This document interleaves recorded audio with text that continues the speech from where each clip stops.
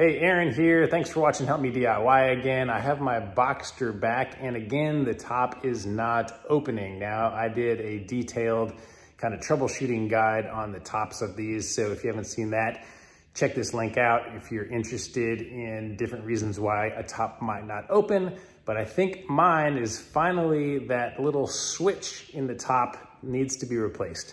In the last video, I did some little soldering, messed around with it, and it temporarily fixed it, but I think it's finally gone. So I'm gonna do a video on how to replace that.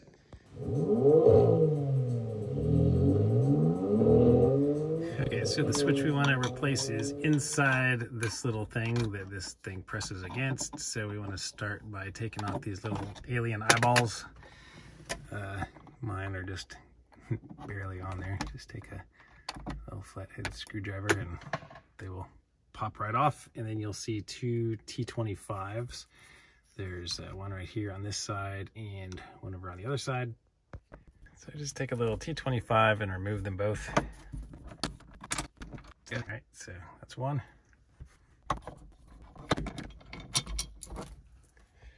Two.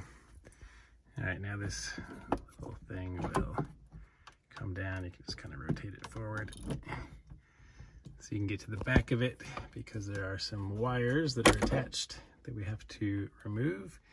Right here you can see this piece is the switch itself and the piece back on the other side is our light. So if you ever need to replace the bulb, that's where you do it.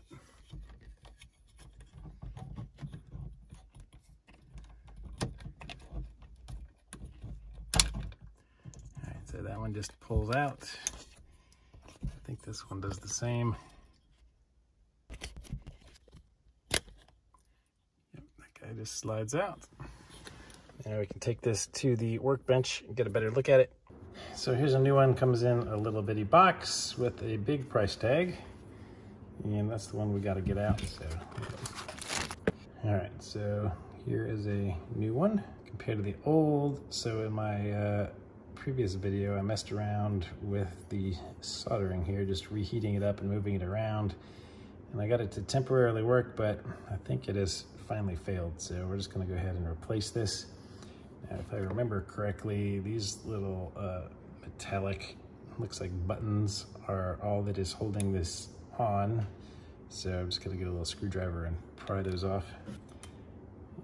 Try not to lose them.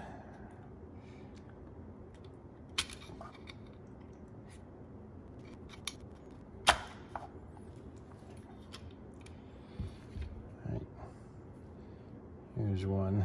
That's what it looks like.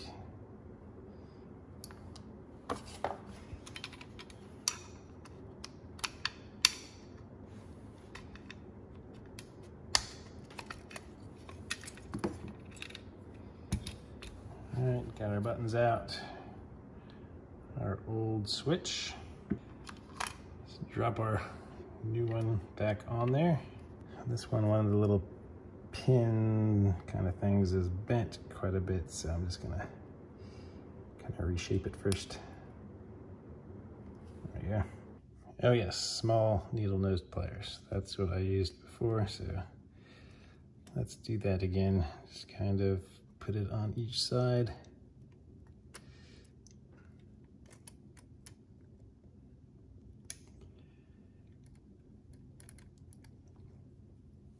press this thing back in.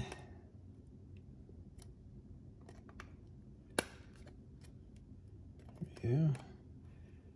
I heard it snap down a little bit. Nice and pressed down. All right, you want those all the way on there because that's what actually secures this. So now it does not rock at all when I do it. You should be able to press the little thing in here. You see this little arm lift up to press that little orange button. I'll put a little link to this guy in the description of this video so you can find it easily. All right, I'm just gonna put it back on, reattach those two cables, the two more bolts, and we'll test it out.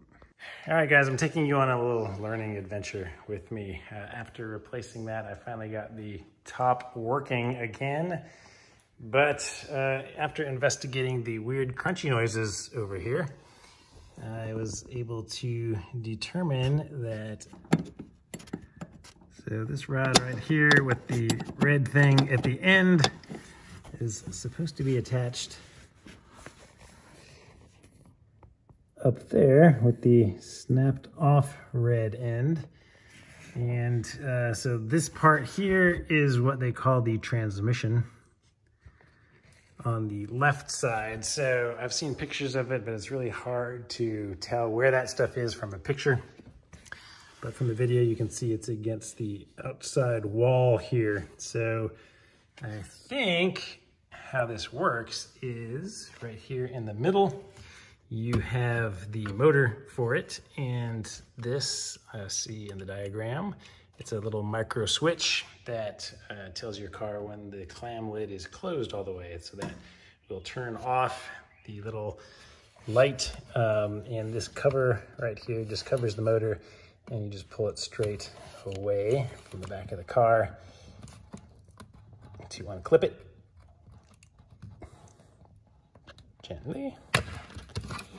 And then it lifts up over here. So you can see these two clips are what's holding it in and these two sets are broken off. So that's why mine was a little loose over there. But if you need to get to the motor, that's where it is. If you need to replace that micro switch, that's where that is. And you can see it has a cable coming out of each end. And the cable is uh, what is gonna turn the transmission back there. So you can see the one on the right and the one on the left look the same. All right, sorry guys, I started getting really off topic there, but uh, I learned a lot about the innards of the top today, so I'm gonna have another video on that coming up soon. Make sure you're subscribed to the channel give this video a thumbs up, and I'll see you on the next video. Thanks.